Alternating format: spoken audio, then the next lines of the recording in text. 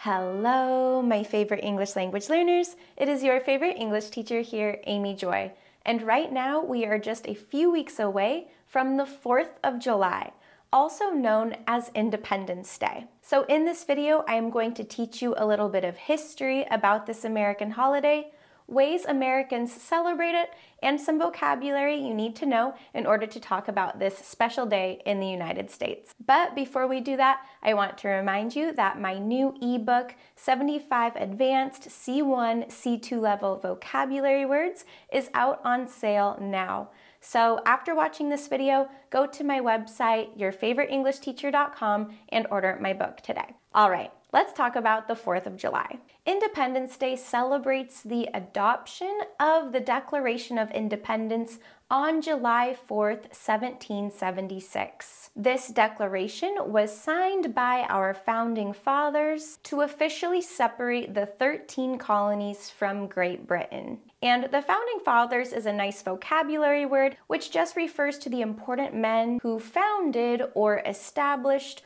or created our country. And the most famous signature on the Declaration of Independence is by a man named John Hancock. There is a story or a myth in the US that John Hancock signed his name so big so that the King of England could see his signature without having to wear glasses. He was not afraid of how the king would respond and really wanted to make sure that the king saw his name on this declaration. And interestingly, if someone asks you for your John Hancock, they are asking for your signature. So this little piece of history is still relevant today and has even come into our everyday vocabulary. Now, I have actually read that this story isn't really true, but it is still fun to tell and believe in because of how patriotic it is. And the word patriotic means that you feel a deep love, loyalty, or respect for your country. So today I am wearing kind of patriotic clothes in my red and white. And if you are patriotic, it means you really love your country. We also use this word as a noun. You can say patriotism. For example, the story of John Hancock represents patriotism.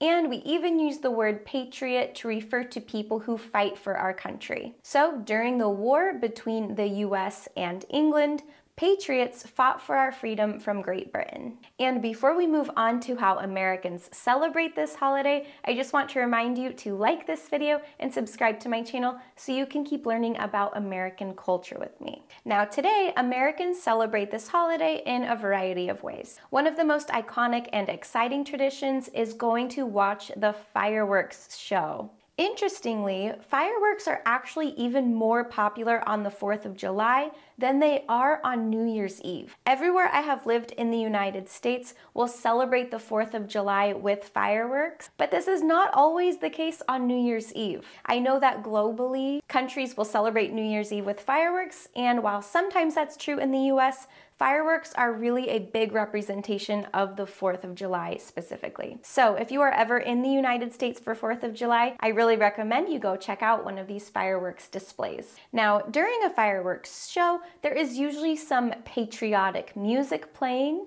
like our national anthem. The word national anthem refers to the song that represents a country. Now, our national anthem is called the Star Spangled Banner. And the word banner is just a synonym for flag. So the title of our national anthem means a flag covered in stars. To be honest with you, I have never seen the word spangled outside of this context. So I think this word is a little bit older. But if you ever hear the phrase the Star Spangled Banner, that is referring to America's national anthem, our country's song. Now, another popular way to celebrate the 4th of July is at parades. These processions typically feature marching bands, floats, and people dressed in patriotic clothes, or just basically wearing red, white, and blue. And since Independence Day is always in the summer, it's a very popular time to also do outdoor activities. So many Americans will go to the beach or to lakes to swim, go on boats, or just sunbathe. We also have a lot of barbecues and picnics, so some typical 4th of July food includes grilled burgers, hot dogs, corn on the cob, And when I was growing up and my parents would take me to the fireworks shows, my mom and I would always share a big bag of kettle corn or like sweet popcorn. I don't know if everyone considers this a 4th of July food, but for me, kettle corn always reminds me of the 4th of July and watching the big fireworks with my family. So there you have it, a little bit of history about the 4th of July, also known as Independence Day, and how Americans celebrate it. Let me know in the comments how your country celebrates its history. I would love to hear from you. Thank you so much for watching this video. I hope you learned something new. If you did, make sure you like this video and subscribe to my channel so you can keep improving your English with me.